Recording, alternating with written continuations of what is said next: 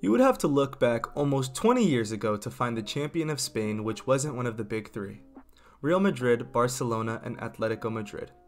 The 2003 2004 season saw Valencia win their sixth La Liga trophy. Since then, Real Madrid have won it seven times, Barcelona 11 times, and Atletico Madrid just twice. These three clubs are the biggest in Spain historically and rule the country's domestic top flight. But this season, an unfamiliar face is at the top of the league Girona FC. Amassing an impressive 34 points, losing just once this league campaign, they find themselves first place by 2 points. Can this be the next underdog story? Well, let's dive into it. Girona FC was founded on July 23, 1930, in the city of Girona. Historically, Girona have been in the third tier, playing 44 seasons in the Spanish third division. They would promote to the second division in 2008 2009 and find some stability, slowly going up in the league table each year until they were finally in contention to be promoted. They achieved La Liga promotion by placing second in the second division back in the 2016 2017 campaign. This would be their first ever season in Spain's top flight, and it would catch the attention of a certain group who was buying up clubs all around the world City Football Group. The same owners as Manchester City had decided to dip their hand into the Spanish footballing scene, purchasing 47% of Girona, making them the largest shareholders of the club. And they would finish a respectable 10th place in their first ever La Liga season. But things wouldn't be all sunshine and rainbows, and in the next season they would actually relegate, placing 18th. Back in the second division, after getting bought out by the City Group, it wasn't a good look. And what's even worse is that they would come to the playoffs and lose in the 90th minute in the 1920 season, where Elche would beat them 1 0 in the playoff finals. The next season would continue the heartbreak. Once again, reaching the playoff final, they would win the first leg 2 1. Unfortunately, the second leg saw them concede two goals in the first half, and even though the opposing team got a red card in the 56th minute, Rayo would hold on to that lead. The 2021 2022 season would see Girona reach the playoff final once again, where the first leg would end scoreless. But luckily for them, the third time would be the charm. Winning 3 1 in the playoff final, they finally got back to La Liga.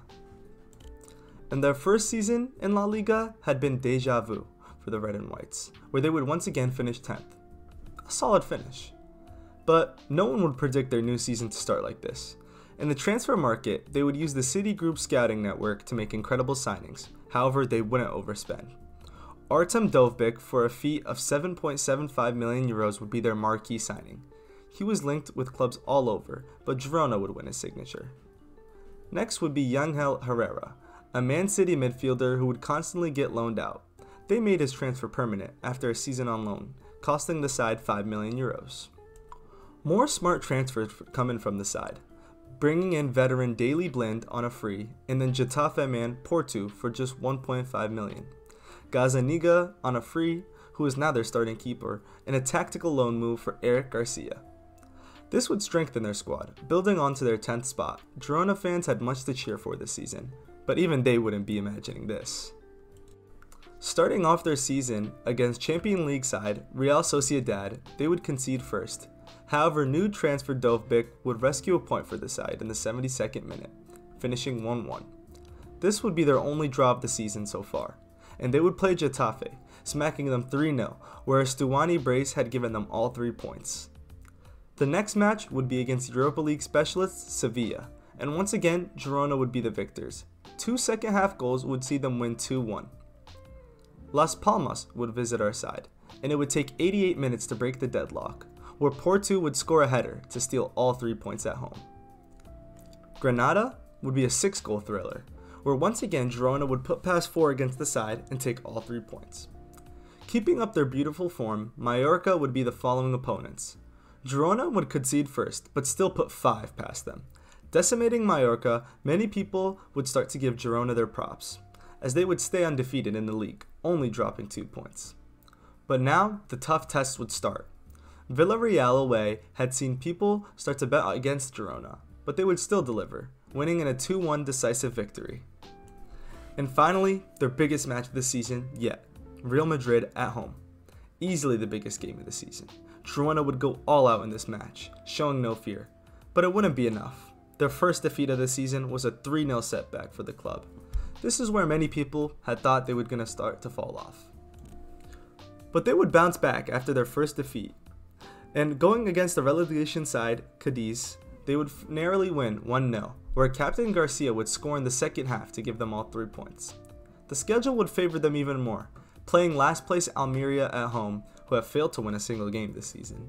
Many people had put Girona as the easy favorites, but it wouldn't come easy, and in the 24th minute, Girona would find themselves 2 0 down.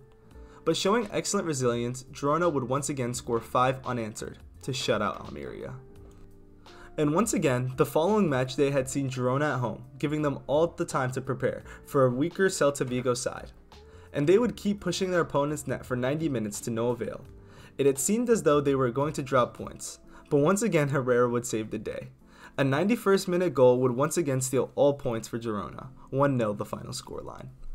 In the first round of the Copa del Rey, a cheeky 2 1 win over 4th tier Spanish side would see them advance thanks to another injury time winner. Three days later, Osasuna would host our championship hopefuls, and once again, Girona would continue winning ways. 4 2 the final score. Girona had been eating up teams alive with their electric offense. And now to their most recent game, they would play against Rayo Vallecano and concede in the fifth minute. But this team is resilient, and once again were able to pull out a 2 1 win.